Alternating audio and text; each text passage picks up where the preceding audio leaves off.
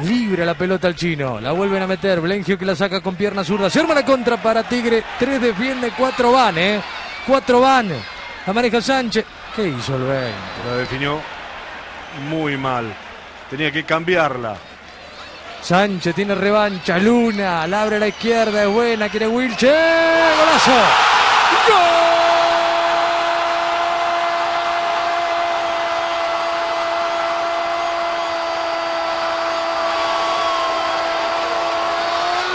De Tigre Wilches. Qué manera de volver al primer equipo. De aire, llovidita por arriba. Siete minutos. Llegó el gol. El orgasmo del fútbol para Galeano. Goza Tigre. Gana 1 a 0 por Wilches. Era una contra muy peligrosa. Facundo Sánchez venía para abrirla a la izquierda. Quiso pegarla al arco. Wilches se quejaba porque él estaba solo. Bueno, en Estudiantes no se dieron cuenta que Wilches seguía solo y siguió solo. Volvió a recuperar la pelota Tigre y como había empezado la jugada, solo el 10 y le quedó a él y la clavó en un gol estupendo. Comenzó ganando Tigre con ese gol del 10. La pierde Jara. Lo saca Blencho a toda velocidad. Se viene por la mitad de la cancha y quiere González Pires.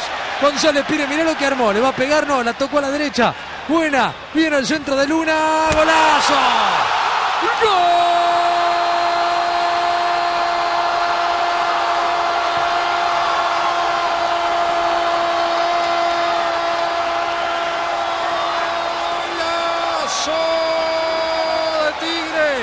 Un golón de González Pires. La trajo esquivando rivales. La abrió para Luna que lo vio llegar por el área y el central puso el pie derecho, la clavó contra un palo. ¡Qué golazo tenemos en victoria! El fútbol a sol y sombra del número 6. González Pires.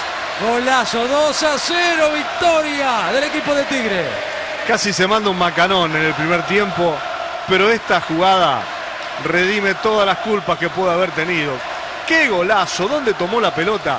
¿Con qué calidad? Levantó la cabeza, dio el pase preciso con cara interna y también con cara interna la acarició al palo más lejano del área Navarro.